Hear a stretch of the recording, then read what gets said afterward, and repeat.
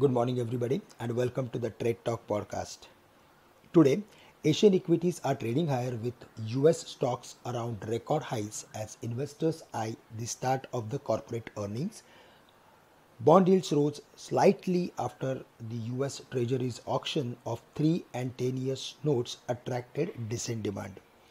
On Monday, the benchmark indices closed 3, 3 to 4, 3 to 5% lower as compared to their previous close after the 26th of February 2021, the second time the Nifty fell more than 500 points in a day.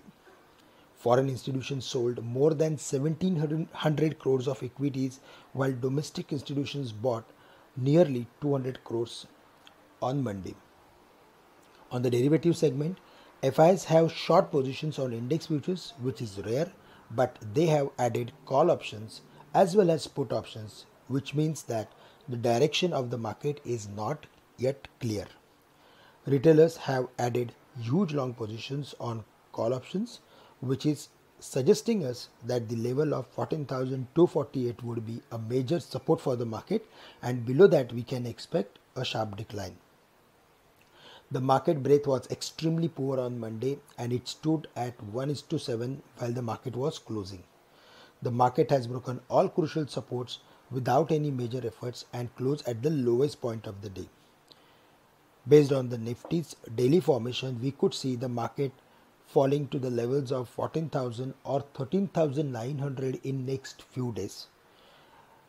And in case if there is any bounce back, then we could see the levels of 14,400, 14,450 on the high side.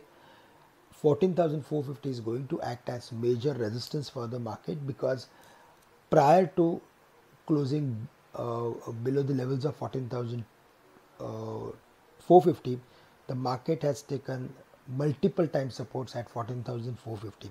But yesterday the market has broken that level and it closed comfortably below that. So today we need to see that how the market reacts around uh, 14,450 after opening. But yes, around those levels we are expecting market to come under profit taking or selling pressure. So there we need to be careful. In fact, the strategy should be to look for creating short positions close to 14,450 levels with a stop loss at 14,550 on the higher side. For Bank Nifty, it has broken important support area of 31,250 and it closed below that. So now the Bank Nifty is also going to range uh, between the broader range of 31,500 on the higher side and 30,500 on the downside. In case if we see the bank nifty is breaking the level of 30,500 then the next level to watch out for would be 29,700 or 29,800 where the bank nifty is having support of previous lowest level. Today we need to focus on again pharma and IT companies and we can expect some weakness in infra and banks. That's all from my side. With this, I am ending today's morning podcast. Thank you very much for listening in and have a great day to all of you.